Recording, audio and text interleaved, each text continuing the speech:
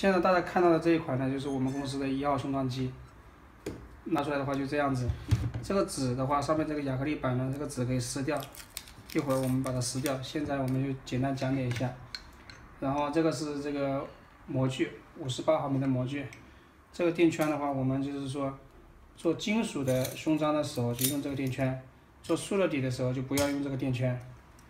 现在我们就是看怎么样装模具，就是这个销子，这个地方的销子对准这个位置的孔，然后这样子放上去好了。这个销子先不用放进去，等往上拖一下，来，这个销子通过这个孔推过来，放下来，然后把这个销子左边放进去。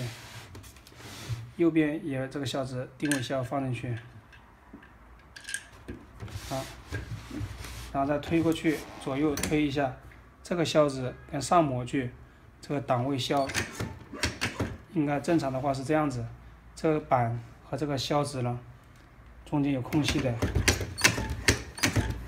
好，再测试这个右边的模具，靠过去的时候也对齐了。然后呢，这里合起来的时候呢，没有缝隙的。好，这样就对了。这是安装模具的时候。那么拆模具的时候呢，就先把销子拿出来，先放这边，销子放在这里，然后用手把这个上面托起来，然后把它拉出来，从这里，这里用手双手这样托起来，拉下来就可以了。这是装线模具。好，然后接下来我们就是制作这个胸章了。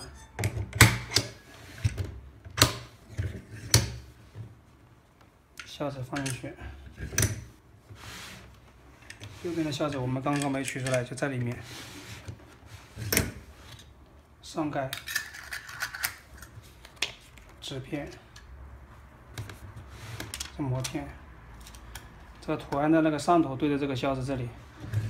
然后做塑料壳的话，就就不要这个垫圈，不要，这个放进去就可以了。啊，手稍微扶着，轻轻压下来就可以了，拉过来，轻轻压下去就可以了，不要太猛。那这个就做好的胸章背面，别针是这样子的，正面。好，下面我们做一个 铁底的胸章，记得把这个垫圈，塑料垫圈放在这个右边这个模具里面，然后我们就是拿那个徽章那个锋利这一面朝上面，锋利这个朝上面，这个胸针的话就是在这个位置朝这个方面，好，左边上盖，纸片这个图案朝这里。膜片，好，推过来，好，拉过来，那这里要密闭，要密封，压下来没有缝了，啊就好了。